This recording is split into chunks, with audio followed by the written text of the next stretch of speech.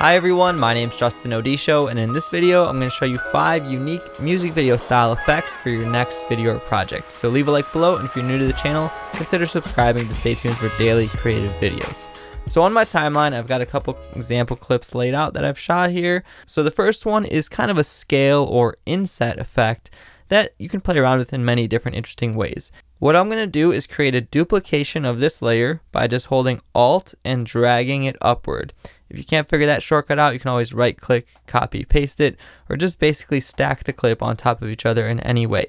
Now that we're working with these two layers in Adobe Premiere Pro, whatever we do on this top layer, the bottom layer will still kind of be underneath and show. So I can decrease the scale from 100 to let's say 75 and we've created this cool inset effect that I've seen in some different music videos for interesting effect. You don't have to do it with just the same video. You can stack two videos inside of each other in this way. And I even created multiple stacks in the beginning example by lowering it even further. Now we've got three stacks and there's all types of animation and blending you can do between these three layers. For example, you can just make one start after another and you get a cool little animation that happens.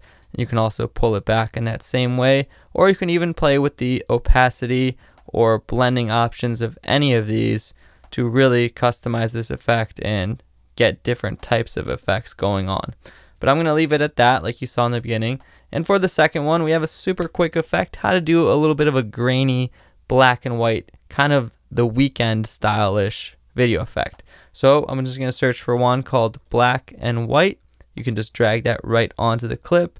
And the thing that spices it up is by searching for an effect called noise and just adding some noise onto that black and white. By increasing the amount of noise percentage, I'm going to use strictly black and white, so I'll uncheck the color noise. You can create this grainy type of vintage feel, really add that mood to it. And if you want, you can always go into the Lumetri color tab, really mess around with your basic correction and creative. I have tutorials all about that. And remember, you can do all of this on adjustment layers as well by going to the project media bin, going to file, new adjustment layer, and dragging that little pink adjustment layer on top. That'll allow you to stack effects over multiple clips, but I'm just going to keep going one by one here. That's just a little tangent, very useful. Get to know adjustment layers if you want. So third, we have a very simple but stylish effect is the flip horizontal or flip vertical effect. So in the effects panel, I'm going to search for the flip effects and you have the horizontal or vertical. So what I can do is click and drag this onto the clip. It immediately flips horizontal, but just like in the first effect, I'll undo that. I'll actually create a stack duplication here, so one right on top of the other.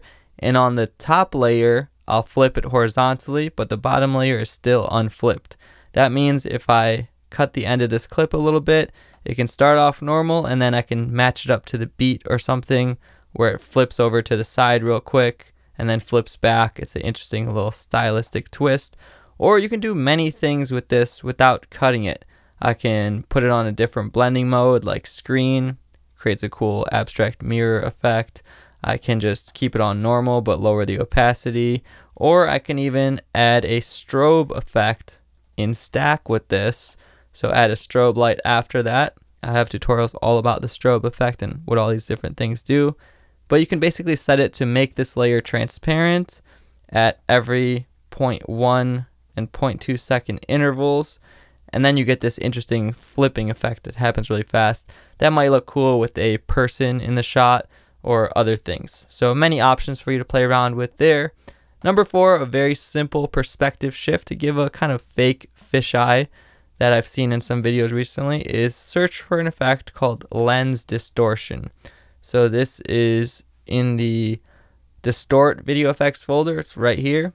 Click and drag this on and all you can do is add a little bit of curvature. So I'll bring it down to negative about 20 and you can see it just kind of adds that little fisheye lens distortion on the edge. I'm not even going to keyframe it. I'm just going to keep it right at negative 20 and it adds a cool little fisheye feeling for some different type of vibes for some shots. Play around with that. Again, you can always stack all of this stuff with keyframes and play around with different types of vertical or horizontal centering. but you just don't want any of that white to be showing in most cases. Finally, for effect number five, here's an interesting glow or lens flare type of effect that I just kind of created by blending a bunch of different things. So I'm going to search for an effect called Find Edges. First, before I apply it, I'm going to stack this layer again, like always. And remember, you could do this on adjustment layers. Like I said earlier, you can set adjustment layers onto blending modes and all that. But I'm going to add the Find Edges effect onto the stacked layer. I'm going to select Invert. And what that'll do is create a little bit of an outline on all the edges. It's a nice little bright outline. Now I'm going to go and find an effect called Gaussian Blur and add that onto the layer as well and add just a tiny bit of blur.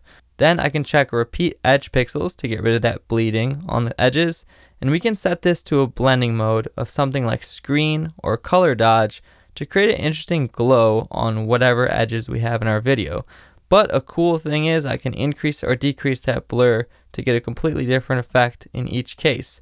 And I can set the blur to be just horizontal or just vertical. And when I do it in this way and increase the blurriness a whole lot, what we get is these interesting lens flare type of lines that attach our, itself throughout the image and can create a kind of cool result for some stylistic flair. You can lower the opacity of this overall second layer if it's getting too strong, and it just adds an interesting kind of abstract stylistic touch that could look cool for some shots or in combination with other things. So that's five different unique music video effects and many different variations within them for you to play around with. If you guys enjoyed this video, I also have another video called 5 Sick Music Video Effects, which are nice, dope, and sick for you to check out. I'll leave a link to that. And definitely subscribe to the channel to stay tuned for more. Go follow me on social media at Justin Odisho on Instagram, Twitter, Facebook if you want to reach out to me. Stay in touch. I definitely appreciate that. And once again, thank you so much for watching, and I'll see you next time.